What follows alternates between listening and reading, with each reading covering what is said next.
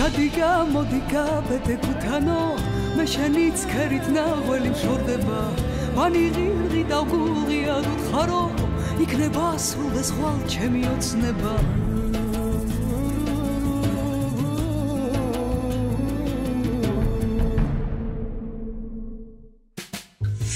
გამარჯობა. ეს გადაცემა ფერმა, მე დემეტრე ერგემლიძე ვარ და დღეს ჩემი ბავშვური ოცნების ამბავს გიამბობთ. მე ზამთარში ვარ დაბადებული. შესაბამისად, თითქმის ვერასდროს მოხერხდა ჩემს დაბადების დღეზე მარცხვის ტორტის მომზადება. ალბათ იმიტომ, რომ მაშინ ზამთარში მარცხი არ იყო.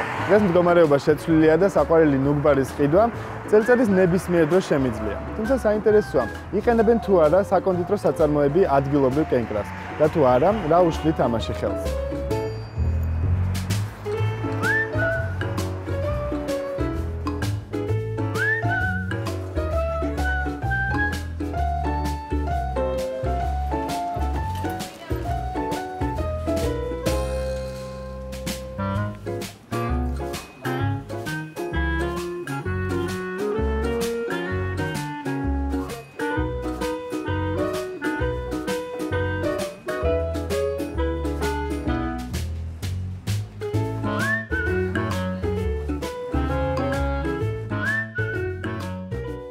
ეს ტორტი მხოლოდ ესია გაფორმებული თუ შიგნიდანაც ანუ რა თქმა უნდა შიგნიდანაც მარწყვი აქვს. ამოდენიმე სახეობის ტორტი გვაქვს, რომელშიც მარწყვს ვიყენებთ. არის ტორტები, რომელშიც მხოლოდ გაფორმებაში ვიყენებთ მარწყვს, მაგრამ ისეთებიც არის, რომლებშიც შიგნით არის, შიგთავშია მარწყვი. საიდან მოდის ეს მარწყვი და რამდენად დიდია ხოლმე არჩევანი ზამთრის პერიოდში?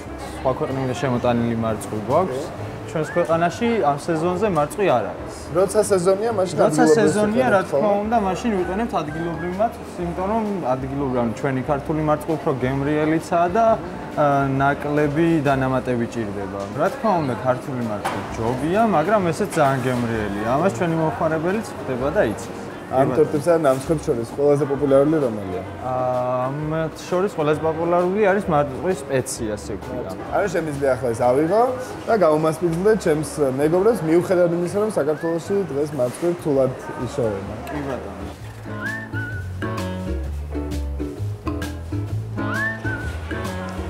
გემრიელად მივიწევ. დიდი მადლობა. არაფერი.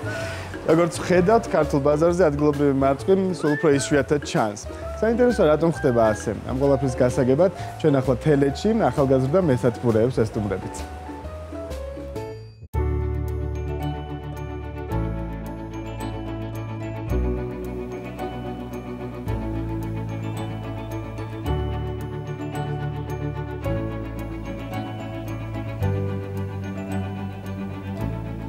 გიორგი, მარცხის წარმოება საქართველოში საკმაოდ დიდი პოტენციალი აქვს, როგორც ამბობენ, თუმცა ალბათ მნიშვნელოვანია გავითვალისწინოთ ძალიან ბევრი რამ სანამ ამ საქმიანობას წამოვიწყებთ.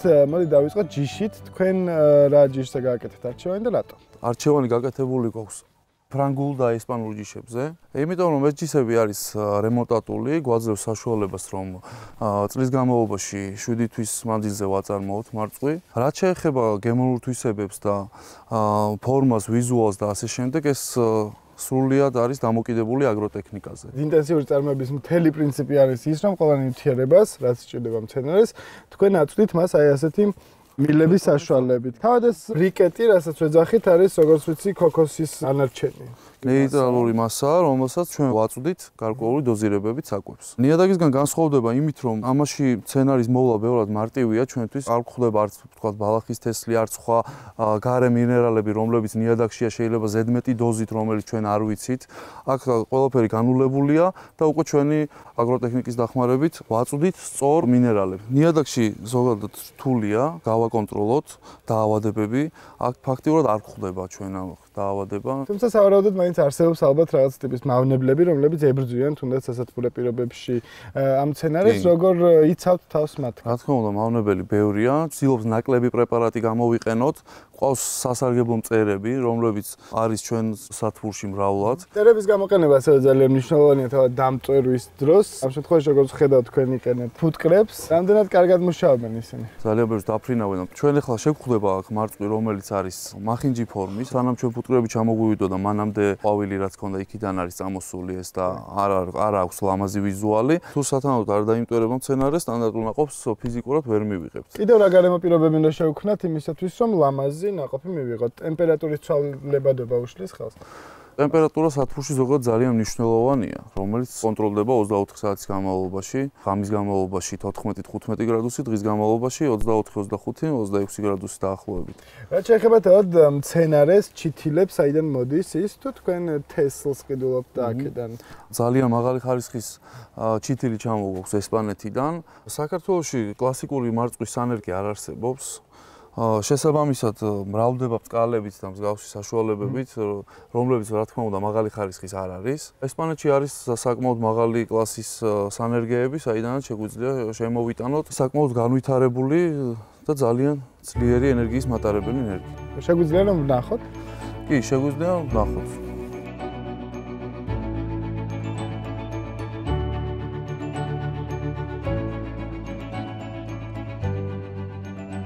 რადგან დღეს წარმოდგენილი არ გვაქვს ახალ ჩამოტანილი ნერგი, რომელსაც აქვს დიდი ფესვი, გაჩვენებთ ნერგის მაგალითზე. ამას ქონდა ესეთი დიდი ფესვი, რომელიც გადაიჭრა დაახლოებით ამ ზომაზე. დატა გადაიჭრა. დიდ ფესვს ფიზიკურად ვერ ჩავრგავთ ისე რომ ფესვი გამართული იყოს და მოიხრება ფესვი, რომელიც ვეღარ განვითარდება. გამართული უნდა იყოს, ანუ არ შეიძლება ფესვი გამართული გამართული უნდა იყოს. ფესვი თუ მოიხრება, ვეღარ შეძლებს სცენარი განვითარებას და გახმება. და როგორია ჩარგვის პრინციპი? აი თუნდაც ის რომ არ მოიხაროს ფესვი, როგორ უნდა მოიხაროს? აი ხა განახებთ. კონკრეტულ ადგილას დაახლოებით ისე გავწევთ. ქოქოსს ან არჩენს რომ ფესვი ჩაეტიოს დაახლოებით იმ სიღრმეზე. აი ესე ჩავრგავთ, აი ამ ნაწილს უტოვებთ ზევით რომ არ დაიფაროს და ისევ ამ გაწეულ ქოქოს გვერდებიდან მიუწევთ. სულ ეს არის. აი ჩარგვიდან დაახლოებით რა პერიოდი სჭირდება მცენარეს რომ უკვე ნაყოფი მოქცეს და დავიწყოთ მისი პირველადი კრეფა. დაახლოებით 2 თვე ნახევარი 3 თვე გააჩნია სცენარის ზრდას, რამდენ ფოთოლზე იქნება სცენარე უკვე ამ პერიოდში. თუ არ გვაქვს ჩვენ 6-7 ფოთოლზე მეტი, მაგალითად, მისი ყვავილობა უნდა შევაჩეროთ, ყვავილი მოვაცალოთ და დაველოდოთ სანამ არ განვითარდება იმ კონდიციამდე, რომელიც უკვე ზრდასრული იქნება, ასე ვთქვათ და შეძლებს გაზარდოს თავისი პატარა მარწყვები. ძალიან დიდი მადლობა, მე გადავინაცვლოთ თქვენ კოლეგასთან და ვისაუბრებთ ამ საქმის როგორც ბიზნესის თავისებურებებს.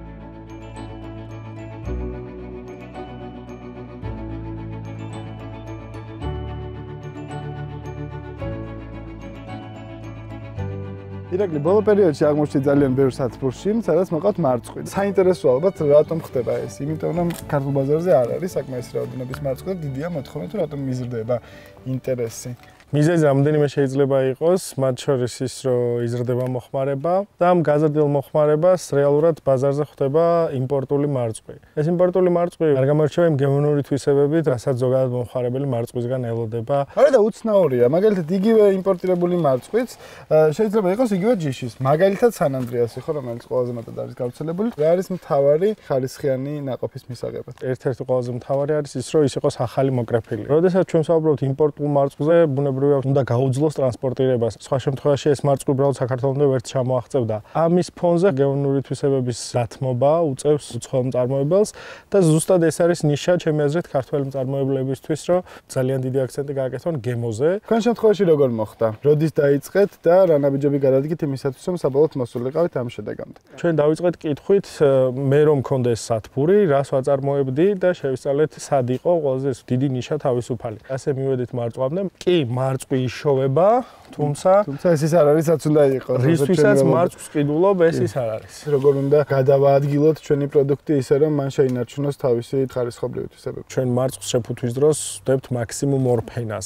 ნებისმიერი შემდეგი ფენა უკვე მარწყვის ხარისხს ავტომატურად დააგდებს. კრეფტ დილით ძალიან ადრე, რომ იგივე პროდუქტი დილით მოკრეფილი უკვე შუა დღეს იყოს დაღზე. ტემპერატურა შენახვის 3-5 გრადუსი. ამ გადასახედიდან რომ უყურებთ ახლა, რამდენად შემოსავლიანი შეიძლება იყოს მარწყვის წარმოების ბიზნესი საქართველოში და რამდენად დიდი დრო სჭირდება იმ ინვესტიციის ამოღებას, რაც თავდაპირველად ჩაიდო მაგალითად ამ მეურნეობაში. ინვესტიციის ამოღებისთვის დაახლოებით 3-4 წელი აუცილებლად უნდა გათვალოს ფერმერმა. ძალიან დიდი მნიშვნელობა აქვს როგორ გათვლებს გააკეთებს მომავალი ფერმერი, ჯიშების შერჩევა, ბუნებრივი აგროტექნიკა და ასე შემდეგ. დავიწყოთ გათფობით, ჩვენ ხმარობთ ხილის ნაჭუჭს, რომელიც გაზით გათფობასთან შედარებით დაახლოებით სამჯერ იაფი არის და გამომდინარე იქიდან რომ თავარი ხარჯი სათბურის არის ზუსტად მისი გათფობა, ეს იძლევა ძალიან მნიშვნელოვან შეღავათს და არის ძალიან კარგი სტიმული ბიზნესისთვის. ჩვენ გამოხდულ წყალს ვაწვდით მცენარეს. ჩვენი მიწოდებული ელემენტები ბოლომდე იხსნება ამ ტიპის წყალში და შესაბამისად მეტი სარგებელი აქვს მცენარეს და შესაბამისად ფერმერს. ამან მოგცვა მაგალითად საშუალება, რომ ნიტრატების რაოდენობა ჩვენ მცენარეში დასაშვებზე სამჯერ ნაკლები არის. ეს არის ის ძირითადი ჩონჩხი, რომელზეც ფერმერმა უნდა გააკეთოს გათვლები, უნდა გაითვალისწინოს. მცენარის რესურსი დაახლოებით ერთ მცენარეზე კილონახევარი არის ნავარაუდები, თუმცა ქართული რეალობიდან გამომდინარე, ერთი მცენარიდან ვიღებთ 700-800 გრამს. მე მინდა რომ ყველა მომავალ ფერმერს, რომელიც მარწყვის წარმოებას აპირებს, ურჩიოთ რომ ზუსტად აი ამ გათვლებით ხემძღვანელონ ერთ ძირზე დაახლოებით 700-800 გრამი დაგეგმილი მოსავალი. აქ შეიმჩნევა რომ თქვენ სათბურში არ აგაქვთ გამოყენებული ეს მრავალი იარუსოვანი სისტემა, რომელიც ბევრჯერ მინახავს, ალბათ ადგილის დაზოგვის მიზნით, როგორც ჩანს იყენებენ ხოლმე მეურნეები ასეთ სისტემას. თქვენ შემთხვევაში რატომ გადაწყვეტეთ რომ სწორედ აი ესეთი სტელაჟებზე სცენარები განგეთავსებით? აი აგიხსნით. თუ ჩვენ განვათავსებდით არა ერთ ფენას, არამედ რამოდენიმეს, შეგვექნებოდა სხვადასხვა ტემპერატურული რეჟიმი, სხვადასხვა სართულზე ფონზე, რაც არათანაბარ პირობებში აყენებს მცენარეს და ვერასდროს ვერ გაქვს იდეალური ტემპერატურა სათბურში. შეიძლება რომ ერთმანეთის დაჩრდილონ ამ შემთხვევაში თავისუფლად. ეგ არის მეორე ფაქტორი, რის გამოც ამ მიმართულებით არ წავედით. კომერციულად და ინდუსტრიულად, როდესაც ხდება მარწყვის წარმოება, ყოველთვის გამოიყენება ეს ერთი სართული, რაც საშუალებას აძლევს ყველას იყოს თანაბარ პირობებში, როგორც კლიმატურად, ასევე მქონდეს თანაბარი წვდომა მზესთან და მზისხიობთან. რა არის თქვენი უახლოესი მიზნები, როგორ ხედავთ რომ უნდა განვითარდეს ეს საქმიანობა და ეს სათბური? ვაკეთებთ განათების სისტემებს, რომელიც ხელშეუწყობს იმას, რომ გავზრდით დღეს სცენარისტვის, შესაბამისად ველოდებით, რომ დაახლოებით 30%-ით, 20-30%-ით მოიმატებს მოსავალი. შემდეგი ეტაპი არის სათბურის გაორმაგება, თუმცა მხოლოდ მას შემდეგ, რაც უკვე ზუსტად გვეცოდინება, რომ ამ ფართობის სრულად ათვისება ხდება და მისი პოტენციალის მაქსიმალურად გამოყენება. წარმატებას გისურვებთ თქვენ თქვენ საქმიანობას პარტნიორებთან ერთად და დარწმუნებული ვარ რომ საქართველოში სულ უფრო მეტი ადგილობრივი წარმოების პროდუქტი გამოჩნდება. ძალიან დიდი იმედი მაქვს მეც მაგის.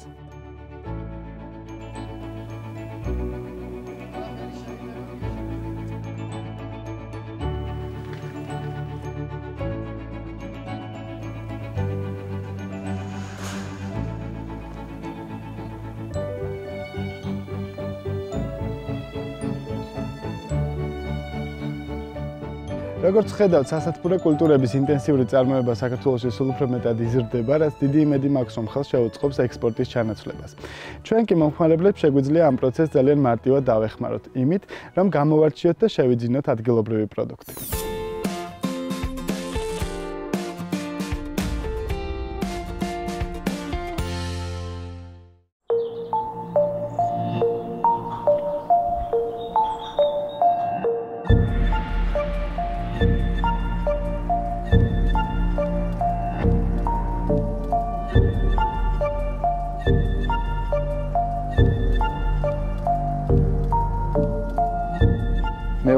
კერესელიძე.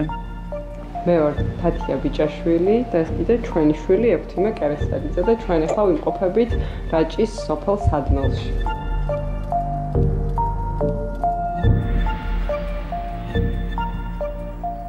თორმეტი წელია ლონდონში მოღვაწეობ, გულში მქონდა რომ რაღაც გამეკეთებინა ჩემს კუთხეში და ჩემი კუთხე წარმომეჩინა მარტო საქართველოსში კი არა უცხოელებთანაც. 2012 წელს ვიყავი ტაილანდში დასასვენებლად და რაღაც რაიონში ჩასვლის შემდეგ მივედი დანიშნულების ადგილზე და იქიდან გადაიშალა ძალიან ლამაზი ხედები. მომივიდა ესეთი იდეა, რატომ არ შეიძლება იგივე რაღაც გავაკეთო, როგორც იყო ტაილანდში, ამბროლაურიდან სულ რაღაც 10-15 წუთის დაშორებით, ქალაქიდან გადატვირთული მოძრაობისგან სრულიად განიტვირთო ერთ-ორ დღეში.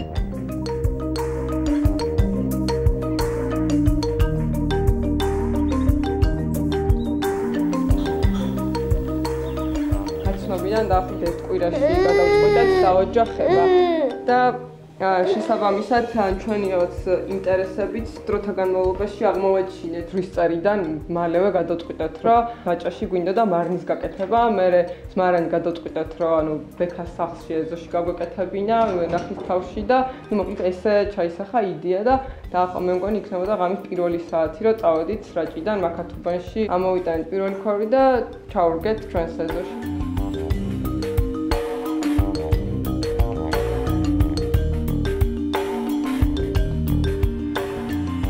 როდესაც მოვხადეთ ამ ქვევრს თავი 2016 წელს, გავიტანეთ ახალი ღვინის ფესტივალზე და ესეთი აღფრთოვანება გამოიწვია ჩვენმა ღვინომ, რომ გადავწყვიტეთ ახალი მარანი აგვეშენებინა და უფრო სერიოზული სახე მიგვეცა. ეს იყო სარეალიზაციოდაც გავკეთებინა და არა სარეალიზაციოდ.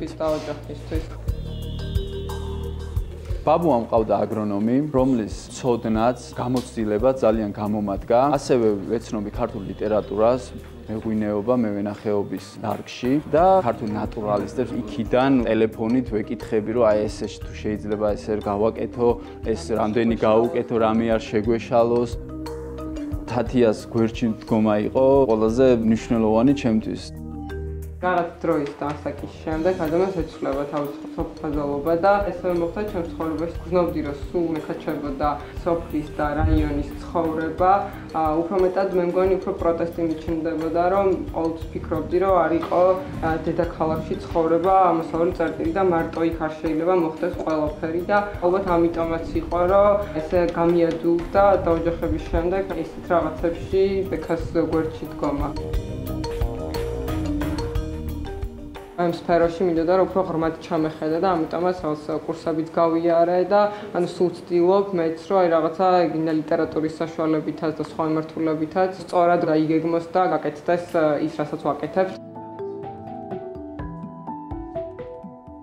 ამ ყველაფერს თავაზო შენ სტუმარს რომელიც ჩამოდის შენს ქვეყანაში და რაღაცნაირად პასუხისგებლობაც არის იმიტომ რომ ამ შემთხვევაში შენ ხარ შენი ქვეყნის ელჩი. მაქსიმალურად ვცდილობთ, რომ იყოს ჩვენს ეზოში მოყვანილი და თუ არის ისეთი, რაც ჩვენ შეიძლება არ გქონდეს, ადგილობრივი ნაწარმია პირველ რიგში და მე ვფიქრობ, ესეც ძალიან კარგია თუნ სოფლისთვის, რომ ანუ ადგილობრივებს, როცა აქვს საშუალება, რომ რაღაც აწარმოონ, მაგრამ რეალიზება უჭირთ, ამაში ვცდილობთ, რომ ხელი შეუწყოთ. ეს არის 80-100 წლის ვენახი, რომელიც მდებარეობს ჩვენი მარნის პირდაპირ. აქ მოდის იშვიათი ჯიში თეთრა, ანუ წულუკიძის თეთრა. გვაქვს ყახური საფერავი, რომელიც არის რაჭაში მოყვანილი და განსხვავებული არის სრულიად ყახური საფერავისგან. თავის არომატებით და თავისი გემოთი. ასევე გვაქვს ახლად გაშენებული ალექსანდრეური და მუჯურეთული ვარ დამწყები ამ საქმეში. ეს სიყვარული მასწავლა ბაბუამ 91 წლის არის და მაქსიმალურად ხარში გვიდგას მთელ ოჯახს. ყველაფერი უნდა გავაკეთოთ, ვფიქრობ, იმისთვის, რომ ეს გავაგზელოთ და ეს ყველაფერი გადავცეთ ჩვენ შთამომავლობას.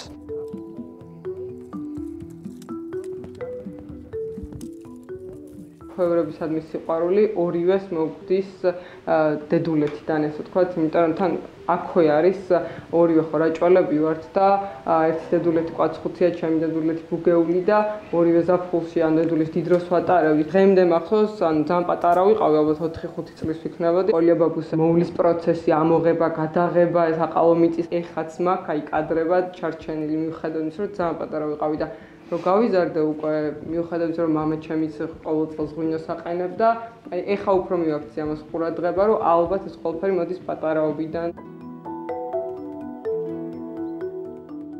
ეს არის ჩვენი 2018 წლის მოსავალი რაჭული თეთრა.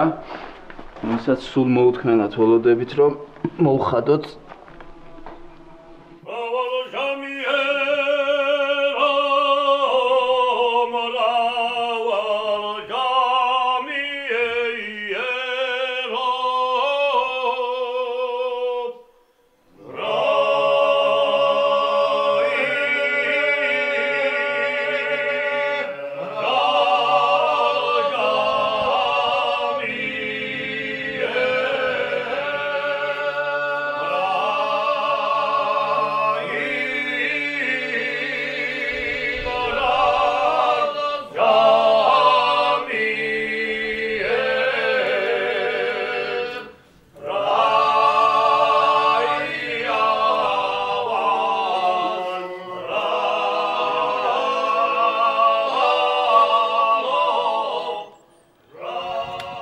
ყველაფრის შემდეგ ვერ ვცნობ ჩემ მშობლებს, ესე ვთქვათ, იმიტომ რომ თვითონ მშობლები თბილისში ცხოვრობდნენ და სულ მაგაზე ვფიქრობდი, რომ რა შეიძლება გავაკეთო ისეთი, რომ აი ესენი დავასაქმო. დედა ძალიან კარგი კულინარი არის, რაჭული კერძები შეუძლია გააკეთოს, შესთავაზოს ვიზიტორებს.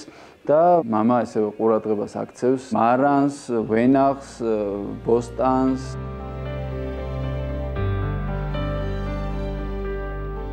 რა თქმა უნდა, დაბრუნება მინდა, ძალიან რთული არის ბრიტანული ცხოვრების შემდეგ აი აქ ამ სირთულეების გადალახვა, მაგრამ გონია რომ აქ უფრო ბედნიერად ვიგრძნობ თავს. აქ სხვანაირი ჰაერი არის, სხვანაირი მდინარე, სხვანაირი მთები, ველური ბუნება და ეს ყველაფერი მანიჭებს დიდ სიამოვნებას.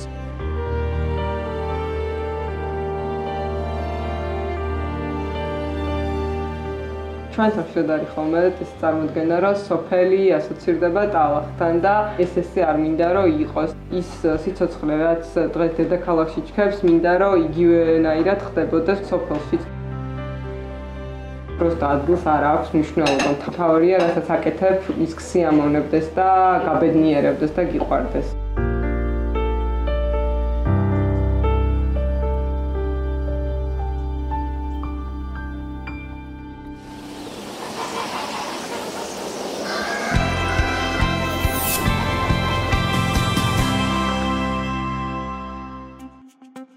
მარწყვის მოვლა მოყვანა. დარქვემდა ჯერ უნდა ჩატარდეს ნიადაგის ანალიზი. ნაკოთის მომზადება იწყება ნახევარი 1 წლით ადრე. ნაკოთი უნდა გათავისუფლდეს მცენარეული ნარჩენებისა და სარეველებისაგან. კულტივაციის ჩატარებამდე აუცილებელია კომპოსტირებული ორგანული სასუქების შეტანა ჰექტარზე 25-30 ტონა და სახნავ ფენაში მისი ჩაკეთება. თუ პლანტაციას ვაშენებთ დახურულ გრუნტში, ამისათვის ხარებში იყრება წინასწარ მომზადებული სუბსტრატი, და მთელი ვეგეტაციის პერიოდში მოწყოსთან ერთად მიეწოდება საჭირო რაოდენობის საკვები ელემენტები. ღია გრუნტში მარწყოს გაშენების საუკეთესო პერიოდია გვიანი ზაფხული, აგვისტო და დახურულ გრუნტში ადრე შემოდგომა, სექტემბერ-ოქტომბერი.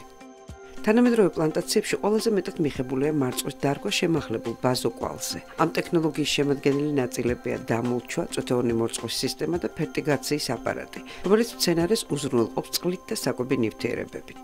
დარგვის რეკომენდირებული სქემაა: ორმწყრივიანი სისტემის შემთხვევაში მცენარებს შორის მანძილი შეადგენს 25-30 სანტიმეტრს, ხოლო მწყრივებს შორის მანძილი 15-20 სანტიმეტრია. მცენარების დარგვა ამ დროს ჭადრაკული წესით ხდება. საშუალოდ 1 გრძივ მეტრზე ირკვება 5-7 მცენარე. მცენარე. დღევანდელი ფერმა ამით დასრულებულია. ჩვენ არც ისე ხშირად ვართ ეთერში რომ თავი მოგაბეზროთ, თუმცა არც ისე იშვიათად რომ დაგავიწყდეთ. ჩვენ ერთმანეთს მომავალ კვირას 12 საათსა და 15 წუთზე ისე პირველი არხის ეთერში ჩავხდებით ერთმანეთს. მანამდე კი არ დაგავიწყდეთ, შემოვერთით ჩვენს Facebook-ის გვერდს, სადაც შეგვიძლია საუბარი გავაგრძელოთ ჩვენთვის მნიშვნელოვან აგროს საკითხებზე. ნახვამდის.